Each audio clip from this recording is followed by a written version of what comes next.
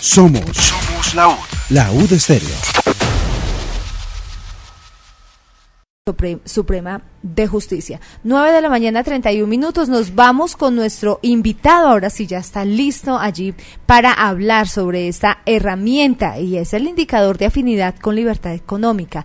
Pues eh, hablando con nuestro invitado que ya se los presento, él nos va a explicar en qué consiste esta herramienta para que nosotros los ciudadanos podamos hacerle seguimiento al Congreso de la República. Está con nosotros Carlos Augusto Chacón, director ejecutivo del Instituto de Ciencia Política Hernán Echavarría Olózaga. Muy buenos días, bienvenido a la UD Estéreo. Carolina, muy buenos días para ti y para todos los que nos escuchan hasta ahora. Muchísimas gracias por estar con nosotros. Y bueno, estábamos aquí eh, nosotros eh, pensando sobre esta herramienta, qué bueno, porque a veces los ciudadanos no sabemos cómo hacerle seguimiento a, a todos estos proyectos y a estas leyes que se debaten en el Congreso de la República. Hablemos en qué consiste el indicador de afinidad con libertad económica. Bueno, dos cosas. La herramienta lo que busca es que los ciudadanos efectivamente, como tú dices, puedan hacerle seguimiento a los proyectos de ley y a las leyes aprobadas en cuanto a su afinidad con la libertad económica, ya te digo eso en qué consiste, pero también va a poderle hacer seguimiento a los congresistas. ¿Cómo votan? ¿Cómo van votando en las comisiones, en las plenarias, tanto de Senado como de Cámara? Y al final, cómo su decisión, luego de evaluados esos proyectos y esas leyes, cómo ellos son afines o no a la libertad económica. ¿Qué hacemos nosotros? Tomamos los criterios del Fraser Institute de Canadá, que todos los años mide la libertad económica en los países, son cinco criterios, y nosotros desarrollamos un criterio adicional sobre empoderamiento ciudadano, es decir, que tanto las normas realmente permiten que los ciudadanos tomen sus propias decisiones económicas. Los otros cinco criterios pues están relacionados con tamaño del gobierno, moneda sana, comercio internacional, seguridad jurídica y derechos de eh, propiedad privada. Entonces, eso lo que hace es permitir que las personas puedan ver efectivamente en un tablero de control todo el trámite legislativo ir viendo cómo ese proyecto afecta o favorece la libertad económica, que pueda ver cómo se están desempeñando los congresistas. ¿Por qué esto es tan importante? Porque es que la gente a veces vota por un congresista y no sabe más allá después del voto en las elecciones al Congreso qué hace, en qué comisión está, cómo vota en su comisión, si vota, porque también ponemos, por ejemplo, cuando los congresistas están ausentes, pues queda registrado que estuvo ausente en la votación pero además cuando es autor y es ponente, que son dos de las medidas activas que los congresistas pueden tomar en medio de su trabajo legislativo. Entonces vamos a medir no solamente la votación, sino también las autorías y las ponencias. No todos son autores y ponentes, por supuesto, durante los cuatro años de gestión, pero sí vamos a también a tener dos indicadores adicionales en los próximos años que van a medir la capacidad de agencia y el liderazgo de los congresistas en defensa de la libertad económica. Y, quería hacerle esa pregunta em, para darnos más claridad y más luces. Usted es director sobre la libertad económica. ¿Por qué es tan importante hablar de este tema y tenerlo presente? Mira, el instituto llegó a este tema de la libertad económica que hace parte de nuestro core institucional y de las labores que hacemos como centro de pensamiento y es porque los países que tienen mayor libertad económica, es decir, los países donde hay reglas claras, hay Estado de Derecho, respeto a los derechos de propiedad privada, donde la moneda se protege de la intervención estatal para que no haya inflación, no haya emisión monetaria que conlleve inflación, donde se respetan unas condiciones mínimas, donde hay unas instituciones entendidas como reglas de juego que protegen al individuo del abuso del poder del Estado, de la interferencia indebida del Estado en las relaciones económicas, las personas son más prósperas. Tú coges cualquier índice internacional de libertad económica, cualquiera.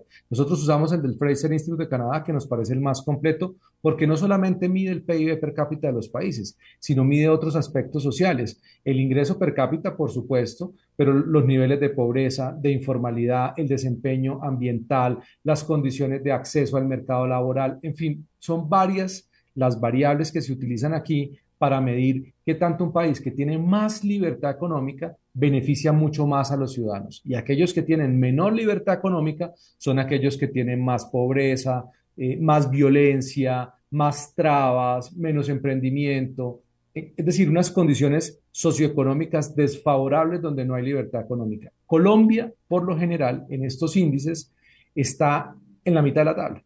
En el Fraser Institute está en el puesto 89.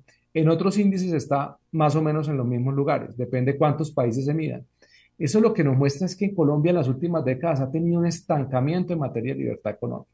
Si queremos superar la pobreza, que es la gran apuesta que hacemos desde el Instituto de Ciencia Política, cómo contribuimos a superar la pobreza, pero además a construir paz, que también está muy vinculado a la libertad económica, necesitamos empezar a promover las instituciones inclusivas que garantizan que esa libertad se goce de manera efectiva por parte de todos los ciudadanos y combatir así problemas estructurales tanto en lo económico como en la democracia misma, que en este caso nosotros promovemos la democracia liberal, es decir, esas reglas de juego que permiten una convivencia democrática donde el poder del Estado y el poder de los políticos está limitado y regulado por una sociedad civil empoderada y libre. Carlos, buenos días. Eh, cuéntele por favor a todos nuestros oyentes cómo se evalúa la afinidad de los proyectos de ley en curso y de leyes aprobadas con la libertad económica. Nosotros tomamos esas seis variables que les describí. Esas seis variables tienen 43 factores que se convierten en 43 preguntas que se le hacen al proyecto de ley. Y en la medida en que ese proyecto de ley establezca intervenciones que afectan alguno de los 43 factores, se va asignando un puntaje que después se pondera y nos permite establecer si ese, ese proyecto de ley, esa ley, tiene una afinidad muy baja, baja, media, media alta o alta con la libertad económica. Es decir, qué tanto esa iniciativa, ese, esa norma, o vulnera la libertad económica o favorece la libertad económica. Establecido ese puntaje, después cuando uno evalúa a los congresistas, pues mira en razón de, esa, de ese puntaje, cuál fue el desempeño de ese congresista respecto a esa norma. Bueno, director, entonces, eh, así las cosas, digamos, un, ciudadano, una persona entra a qué parte, una página web, en, cómo hace para poder entrar y empezar a escudriñar cada proyecto y cada congresista en lo que usted nos dice que se puede mirar si es ponente, eh, si es el autor del proyecto, eh, ese paso a paso para que nosotros nos familiaricemos con esta herramienta. Maravilloso. Mira, entran a www.icpcolombia.org. Ahí van a encontrar un panel donde está IALE, que se llama nuestra herramienta. Nuestra herramienta se llama Indicador de Afinidad con la Libertad Económica. Al entrar a la herramienta, ustedes van a tener dos formas de revisar esta información. Una por la normatividad y otra por los congresistas.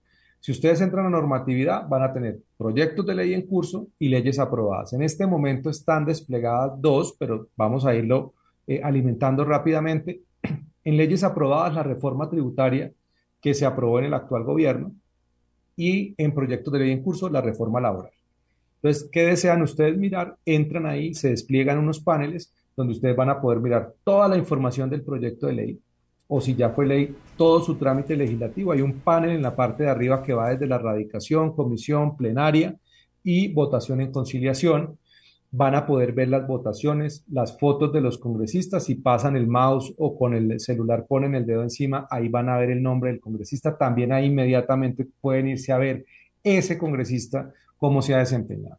O si se mantienen ahí y luego quieren ver es ya los congresistas, hay un panel de control que dice congresistas Ahí van a tener desplegado Cámara y Senado por partidos políticos. Buscan al congresista que quieren revisar y les va a salir un panel con los datos del congresista. Ahora, como les digo, solamente está la reforma tributaria, pero una vez vayamos subiendo otras normas que se han aprobado en el Congreso, como el Plan Nacional de Desarrollo y otras eh, leyes recientes que vamos a ir alimentando, ustedes van a ir viendo la afinidad. Entran en la parte de la foto de arriba del congresista, donde dice afinidad del congresista, ahí hay un puntaje entran y van a ver tres tableritos de control. Uno que dice autorías, ponencias y votaciones. Y explica qué tanto la afinidad de ese congresista es a favor o en contra de la libertad económica en razón del desempeño que ha tenido con cada uno de los proyectos de ley. Entonces el puntaje se va a ir ponderando y claramente lo que está hoy pues no va a ser el puntaje a lo largo de los próximos dos años porque vamos a ir metiendo las otras leyes aprobadas y los otros proyectos de ley en curso, lo que seguramente tendrá una incidencia en ese puntaje, pero hoy está medido solamente a la luz de la reforma tributaria.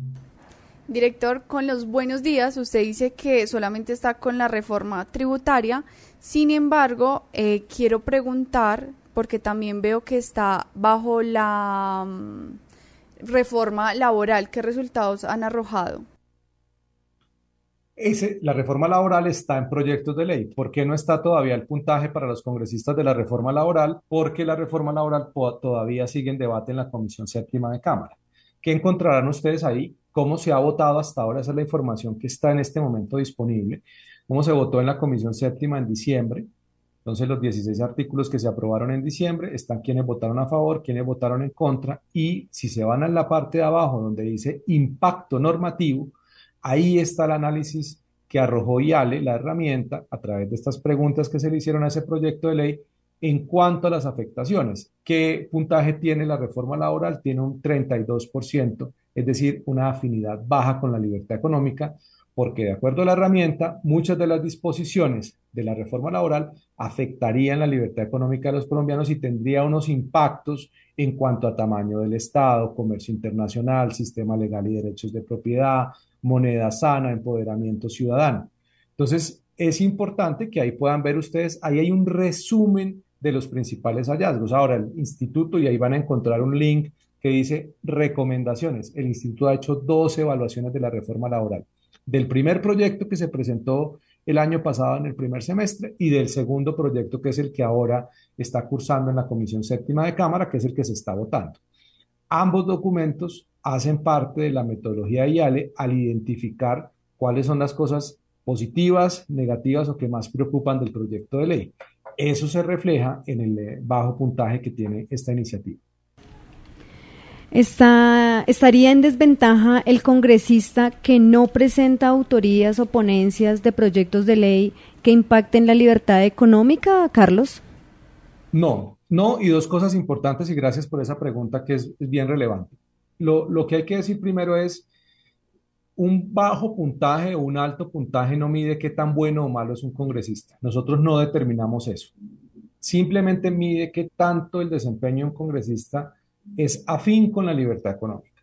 Cada ciudadano podrá tomar sus propias decisiones. La herramienta lo que busca es dar una información para que el ciudadano pueda hacer control a sus congresistas por lo que vota. Si, el si no aparecen autorías y ponencias, no quiere decir que vaya a ser penalizado porque a él se le va a ponderar en razón de su gestión. Por eso les decía que además vamos a mirar en el tiempo, esto longitudinal, esa medida de tiempo nos va a permitir ir diciendo a futuro con otros dos indicadores adicionales, que va a ser el de capacidad de agencia y liderazgo, ver esos otros eh, factores que a veces no se pueden medir solamente con la votación o la autoría o la ponencia, pero aquellos que sean ponentes y autores sí nos va a poner, nos va a poder permitir también qué tanto ellos son activos y qué tanto su acción va a favor o en contra de la libertad económica. En este indicador, entonces, bueno, sale eh, el, índice tanto del congresista como del proyecto de ley, como de las leyes, ¿ya queda el índice ahí o de pronto eh, hay la opción para que eh, haya o sea, pues para que no quede solo en datos, sino para que el ciudadano pueda hacer algo, pueda hacer, no sé, algún reclamo o pueda tomar alguna acción que, que pues que diga no estoy de acuerdo en el proceder de esta ley o de este congresista, o sea, pues cómo, qué, cuál es el paso después de uno revisar el índice, qué es lo que sigue.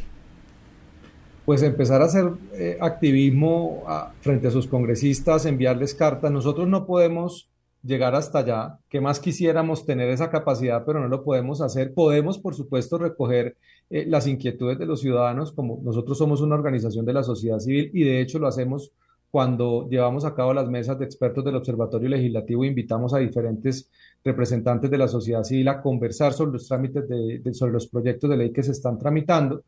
Pero lo que creemos es que necesitamos desarrollar una cultura de mayor exigencia de nuestros políticos. La herramienta es un primer paso para eso, es darle la información al ciudadano. Ahora, ¿qué debería poder hacer el ciudadano? Uno esperaría que los congresistas tengan canales de comunicación abiertos con la ciudadanía. Hay que decirlo, muchos lo tienen. Muchos a través de redes sociales aceptan los comentarios que hacen los ciudadanos, les escriben por el DM y ellos, muchos de esos congresistas contestan, pero lo importante aquí es que los ciudadanos empiecen también a enviar comunicaciones, correos electrónicos, cartas, a pedir cita con sus congresistas, a decirle, oiga, nos preocupa, es que el congresista es un representante del ciudadano, esta es una democracia representativa y participativa donde el ciudadano tiene que poder decirle al congresista que le está preocupando. ¿Por qué en gran medida surgió IALE? Porque vimos en las elecciones del 2022 que hubo unos partidos y congresistas haciendo campaña, eh, defendiendo en teoría, no, si bien no ampliamente el modelo de la libertad económica, sí defendían muchos elementos importantes para la libertad económica, pero una vez eh, fueron elegidos y empezaron a trabajar en el Congreso, cambiaron de posición y empezaron a apoyar otras propuestas. Y entonces uno dice, bueno, pero estos señores hicieron campaña, eh, salieron elegidos con unas propuestas y llegan al Congreso y hacen lo contrario. ¿Qué es lo que uno espera? Que la gente en los territorios pueda ir a sus representantes a la Cámara, a los senadores, a decirle, oiga, yo a usted lo elegí con una agenda programática distinta a lo que está votando en el Congreso. Eso es lo que queremos incentivar. Esa es la verdadera democracia. No simplemente elegirlos y dejarlos que hagan lo que quieran, sino estarles pidiendo cuentas permanentemente. Y la herramienta lo que busca al final del día es eso, que el ciudadano pueda establecer quiénes son los responsables de las normas que se aprueban en el Congreso. ¿Por qué? Porque también vamos a estar permanentemente mostrando el impacto que han tenido esas leyes. El caso de la tributaria, Varios de nuestros informes ya muestran cómo la tributaria ha impactado negativamente en la economía. No en vano, tenemos un crecimiento de 0,6%, una pobreza del 37% y una caída en la inversión del menos 17%. La tributaria tiene parte de responsabilidad en esa situación y lo que queremos es que los ciudadanos puedan medir, tener todo el hilo conductor de la historia de esa ley entró en vigencia y ha empezado a afectar en estos temas. Carlos, teniendo en cuenta todo lo que usted ya nos ha venido explicando y las dudas que ha despejado, ¿acceder al indicador de afinidad con la libertad económica tendría algún costo? No, no, es una herramienta totalmente gratuita. Lo que queremos es que invitamos a todos los ciudadanos y a ustedes, por supuesto, a consultarla. Si ustedes llegan a tener dudas en la exploración, por favor, háganosla saber. Esta es una herramienta pionera. En, el mundo no existe algo igual. Lo hicimos sobre la base, sí, de la metodología que tiene el Fraser Institute y de nuestro trabajo como instituto pero queremos es que los ciudadanos la visiten, la consulten permanentemente. Nosotros, como les digo, en las próximas semanas iremos subiendo las otras reformas y varias de las leyes que ya se han aprobado analizadas a la luz de IALE, pero queremos que ellos hagan uso de esa herramienta como consideren y lo pueden hacer eh, por un computador, pero también desde sus dispositivos móviles. Bueno, ya para finalizar, Carlos, hablemos eh, sobre esos proyectos que se le hace seguimiento, porque sabemos que uno de los temas es que no se evalúa la totalidad de los proyectos, sino unos específicos que seguramente son los que tienen que ver con la libertad económica. Así es, ahorita estamos evaluando la reforma a la salud, la reforma pensional, como ya saben, ya está ahí montada la reforma laboral, la reforma a la educación, y varios de los proyectos de ley que ha anunciado recientemente, como el proyecto de ley sobre la posibilidad de vender, que el gobierno quiere prohibir que se vendan tierras a personas extranjeras, o el proyecto de ley sobre servicios públicos, o sobre el código minero, en fin. Son varias las iniciativas que ya están en trámite y que seguramente en los próximos meses iremos evaluando. ¿La reforma a la salud también se va a evaluar allí? Sí, nosotros como Instituto de Ciencia Política a través del Observatorio Legislativo hicimos desde el año pasado dos mesas de expertos para evaluar la reforma a la salud. Este año haremos una tercera y claramente estamos evaluando la reforma a la salud a, través de la metodología de IALE.